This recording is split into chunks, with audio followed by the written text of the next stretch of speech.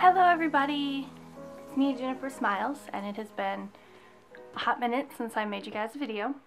So, here I am, making you guys a video. So, a couple of things before I get into this review of this journal. Um, I have moved pretty far. I will be working on some video blogs and stuff. They won't be awesome. I've never really been a vlogger, but I wanted to try. So, keep an eye out for that. I'll have some stuff talking about it because I moved pretty far. Big life changes. And I'm really excited. Um, another thing you're probably noticing, my lighting is very different. That's because I no longer have natural lighting, so I now have to use a ring light to help with this. So, alrighty. We are going to be talking about the Vivid Scribbles dot journal. This is not a Scribbles That Matter journal. Um, a lot of people I think are con can be a little confused because it has scribbles in the title, but it is not a, it is not from Scribbles That Matter. This is its own company. I found it on Amazon, so I figured I'd give it a try. To be 100% honest, I'm just a little too impatient waiting for the STM restocks, and I don't actually know when they're going to be restocking, and I like to have at least a month to get everything figured out for the next year, so this is what I chose to get. Now, I do have my Scribbles That Matter that I have been using for 2019 right here. Um, now, not I don't have all of 2019 in here. It's from March, May. I think I started it in May. Yeah, so my first month in here is May, and I will actually be able to fit the rest of the year in here, which is pretty awesome. I'll have like a few pages left over. Now, the first thing I actually noticed right off the bat, the Vivid Scribbles is an A5, but it's not a true A5. Um, as you can already tell, it's larger on the top and just a smidge on the side. Very small, but it is it is a bit bigger, and also it is kind of hard to tell because this is chunky, but it is a lot thicker lot thicker. So, your Vivid Scribbles journal will come with an elastic, comes with a pen loop, and it comes with three bookmarks. If you didn't watch my channel, you know I don't even use more than one bookmark, so extra bookmarks. um, there is nothing on the cover except for the embossing on the back for the company. I actually like how minimal this is. Uh, it's very very minimal. Now, my first impressions of the cover, I'm not really a fan of the type of material. Um, the Scribbles uses this like nice like faux leather. I think it's faux leather. I hope. Um, but it feels nice. Like it's nice to the touch. This is kind of like that. I kind of feel it like describe it as rubbery. Like it is like a faux leather, but it is a bit rubbery. And I have already noticed that it picks up anything dark. So like if you put it on like a dirty table, it picks it up really easy. And the first thing I did was I took my A5 Midori cover. Now, these are pretty inexpensive clear covers. Uh, this is just a sticker I put on it. And I can get these for like five bucks on Amazon and they're for an A5. Unfortunately, due to this being a little bit bigger, it doesn't actually fit. So if you use the clear Midori covers like I do, it's not going to fit on this journal, which kind of sucks a little. Now, I opened it, which means you've already seen this design. Um, it does come with their own little scribble design inside and also in the back. Now, I do think the design is very beautiful and well done. Personally, I like having a nice, clean intro thing. Like I like having nothing here just because I'm a little bit more minimal like that. But it is pretty and if I don't like it, I'll just take some craft paper and cover it, you know, sort of thing. But it, it does come with that. It immediately opens up into the glued page, which is always fun.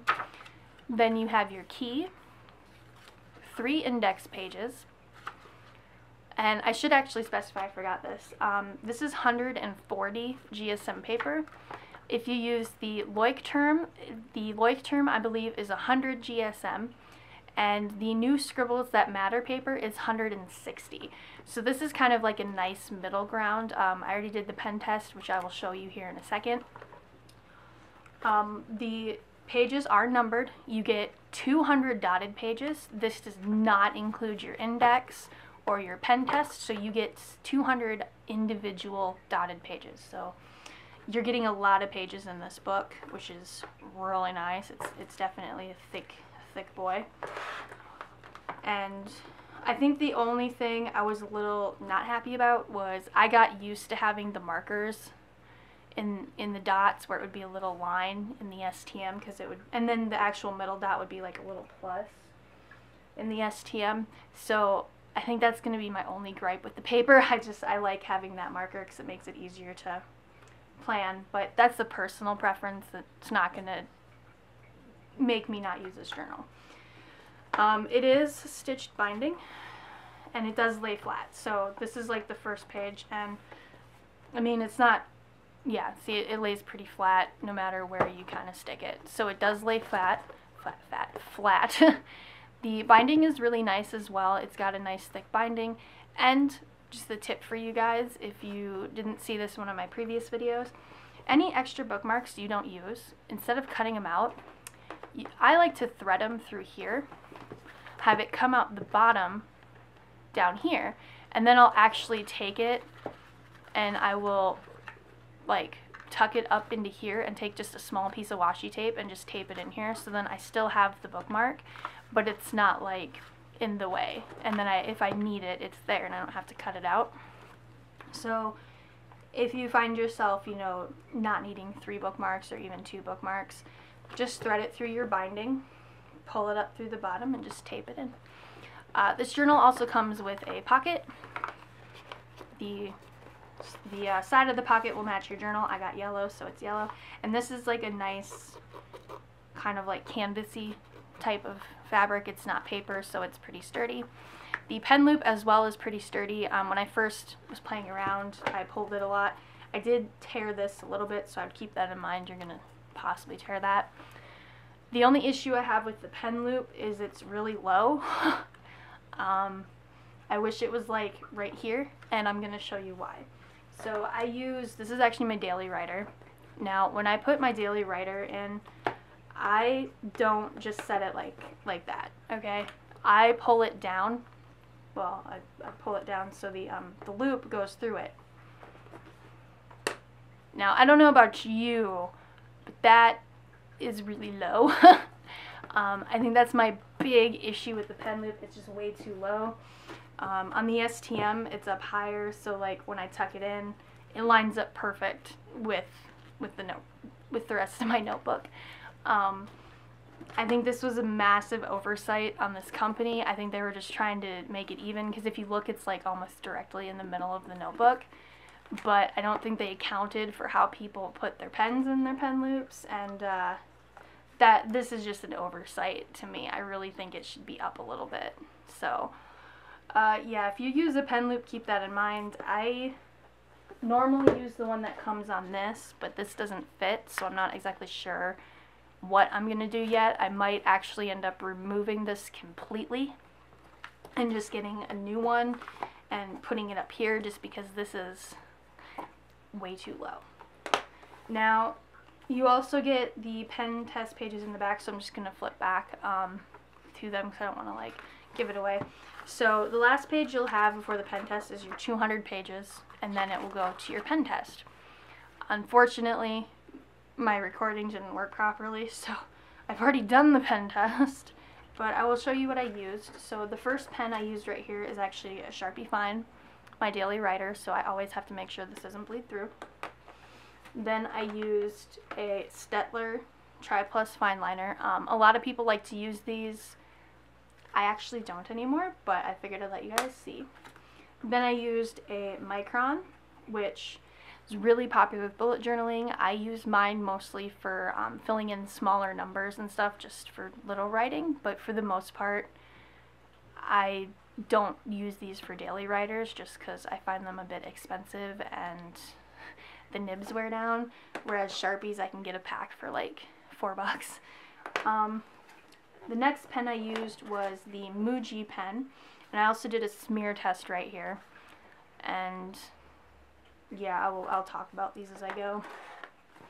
Over here, Um, these top two are a Mildliner.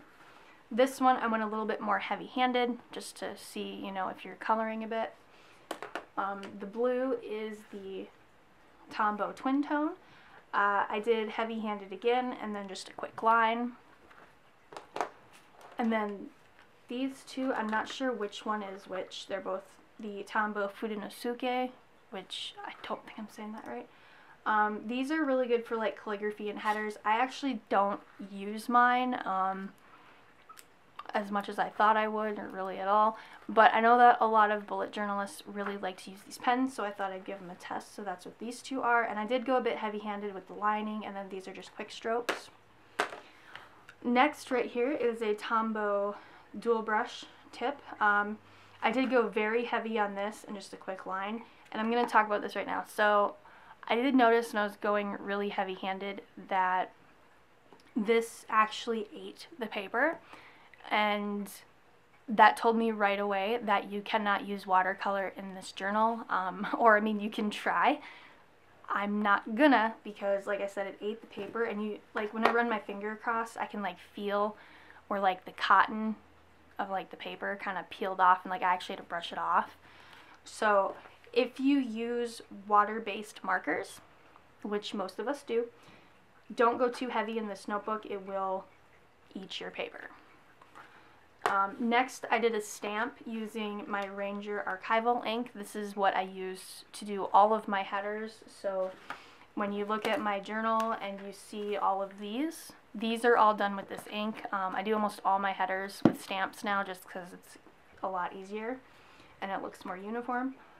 And then lastly, just for posterity, I did one quick Copic line. This was very light-handed. I just did a quick stroke, so no heaviness.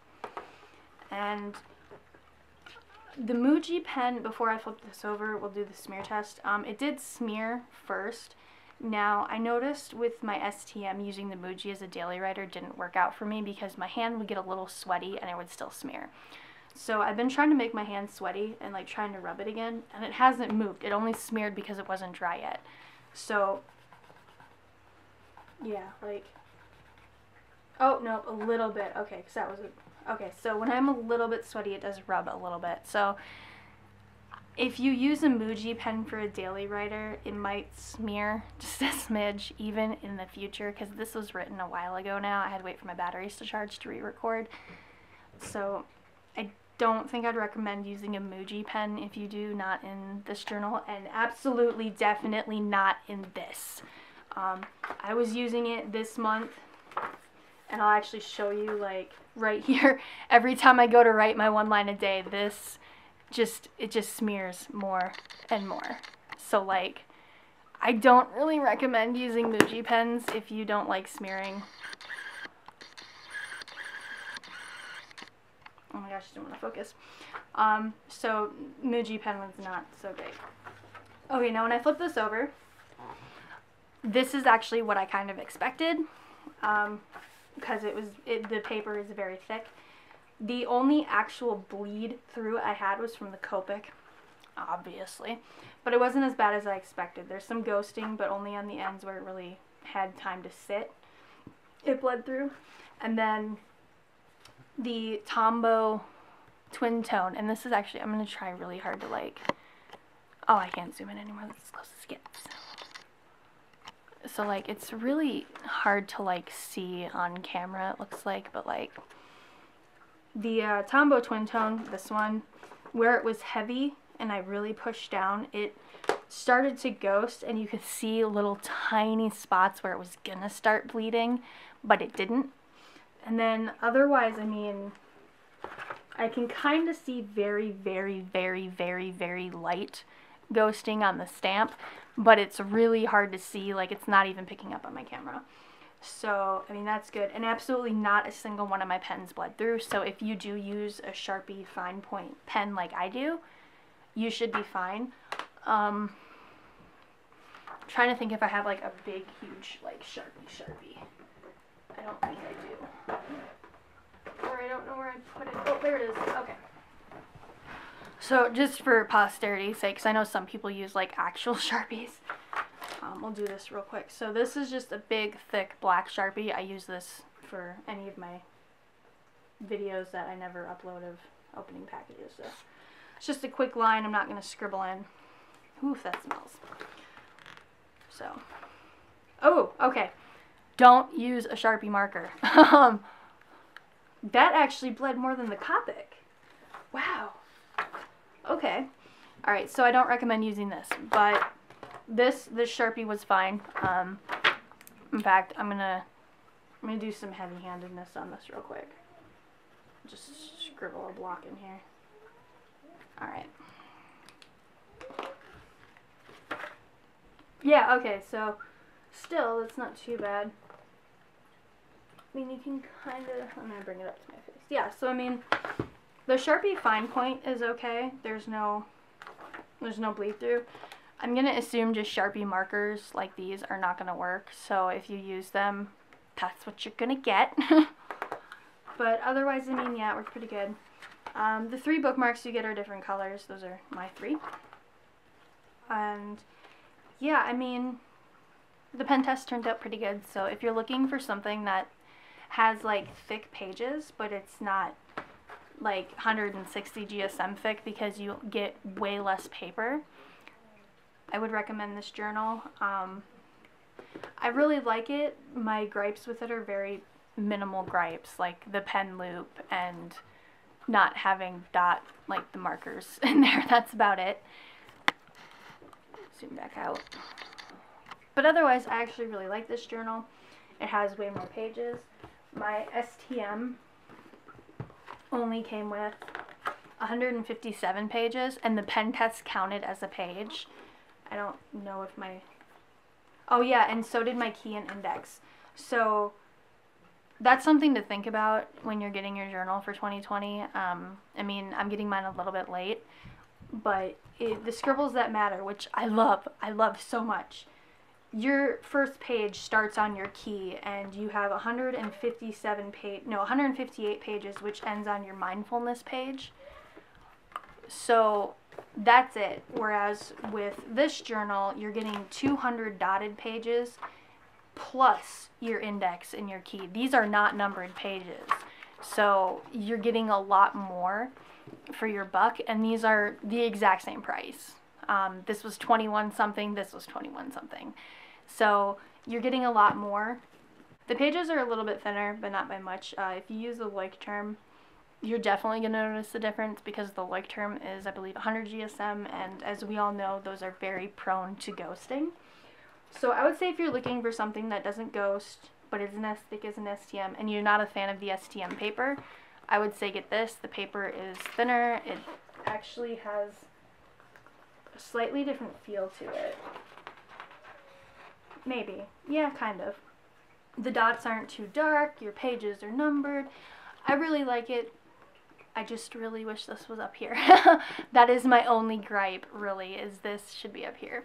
Um, another thing to consider is your um, your elastic does leave indentions in the notebook. Um, mine actually came that way, so as it gets chunky, if you have chunky notebooks like I kind of do, like, because mine gets a bit, mine gets to be pretty thick, um, you'll probably have more of that, but I mean, that really depends on how you feel about that kind of wear.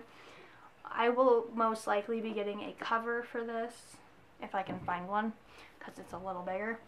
Um, so for the most part, this will probably actually get tucked in here along with this and then I'll have a cover over it so I won't even probably really even notice the pen loop or any of that. But overall, I really enjoy this notebook. I haven't written in it yet. I mean, it does get dirty kind of easy it's just gonna bother me. I mean, I have a white notebook now. Obviously, I like things clean.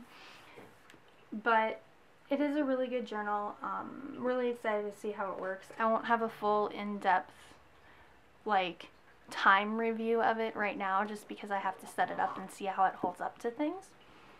But for now, it seems like a really good sturdy notebook. I mean, it's holding up to me really messing with it. And I'm known to break my binding. like, I've actually broken the binding in my books. So I think that'll be like the real test how it holds up to me breaking the binding. The dots also go most of the way. Oh, I think that looks a little bit like a wider gap than the other. Maybe that's just me, but...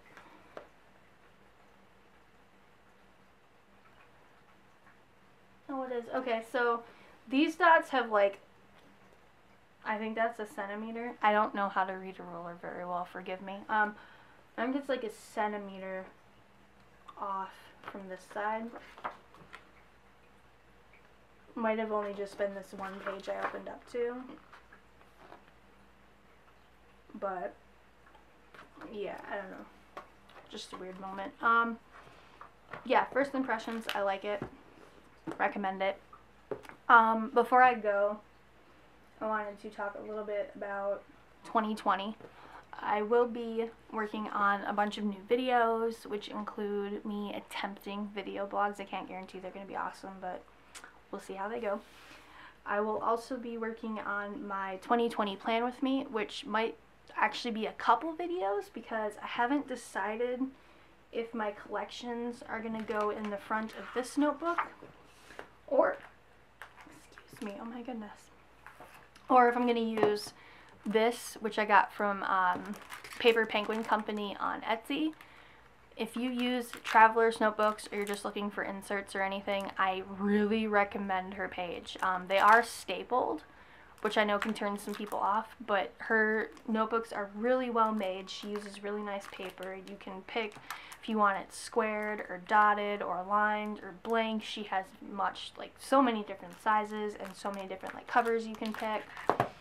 Um, but I was thinking I might use this for my 2020 collections just because I've noticed that I tend to need two notebooks for a year. I don't know if I can fit a whole year in this with how I set stuff up. So there is a chance I might use this for collections. That way I can just pop it in the front of this, take the elastic, and I can just, you know, do that with it. Or when I get a cover for this, I'm going to see if I can maybe find the Traveler's Notebook that I can get with just two elastics instead of four. And then I can just pop this in there with it too. Like I said, I'm not set on stone in that quite yet. Right now, this is as far as I've gotten with planning my, my 2020 spreads. Um, not very far. So I'm going to start doing the process of writing down pages on post-its that I want, sticking them in here, which is a really good idea for planning if you've never done that before. I'll take like a post-it note and I'll actually cut it into like strips, write down the different pages I want, and I'll go through and I'll be like, this is going to be this page, this will be that one. And then I can just move stuff around until I have it how I want before I actually go in with pencil and pen and all that because you never know what can happen before the year starts and you don't want to get too ahead of yourself. At least I have a bad habit of doing that, so I've been working on it. But this is as far as I've gotten right now in that process. Um, once I actually start the planning, the, the inking and all that, I will um, be recording that for you guys. So I will have a new plan with me video. It's been a while. um, I haven't decided if I'll be recording one for December yet for 2019. I actually haven't set it up yet. I have all of 2019, or I mean November set up, so I have the room to do December. Um, I will actually have just enough room and have like maybe two or three pages left over um, after December, which is awesome because that means I filled up an entire journal. Oh my gosh, and it's not a Nuna. How crazy. I never thought it would happen. It's only been like four or five years. I've lost track of how long I've been planning for. Uh, but yeah, so I haven't decided if I'll do a plan with me for December yet. If you guys would like to see me set up December, uh, just let me know in the comments and I will definitely do that for you guys. I know it's been a while. I don't think I did one the past like two months and I really liked how October and November came out and I didn't even like record it but just do like a little flip through like I absolutely I got this new like washi and like these stickers and stuff from Wish and I've just been in love with them. Obviously, it's like all over. Um, this is actually a sticker that my friend Drew. She does um, a lot of paintings of various K-pop artists that I know nothing about. But I love her artwork and I really liked how this came out. I don't normally decorate my weeklies anymore, but it's perfect. Um, and then I did the same for November, but I switched to like these coffee stickers and succulent stickers that I got. So yes, I'm really excited to see how 2020 goes with how I've been planning lately. But yeah, if you'd like to see me set up December, just let me know in the comments and I will I will do that. Um, right now, uh, after this video, I'm going to be working on editing this and then getting my moving vlog kind of worked on. It's going to be a bit weird. But yeah, I think that's all for now. Um, there's a train.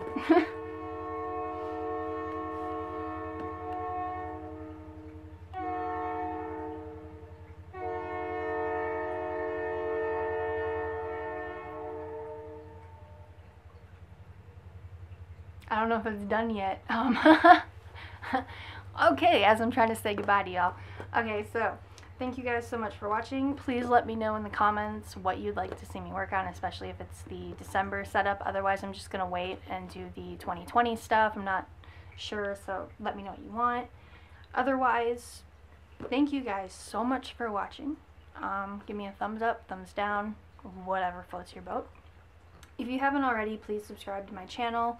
Like I said, I'm going to be trying really hard to focus more on recording and adding new content and everything. Um, having moved and having my life change a lot, I'm going to have way more time for YouTube. So definitely let me know and definitely join my channel and hang out with me and yeah. Anyways, thank you guys so much for watching and happy planning.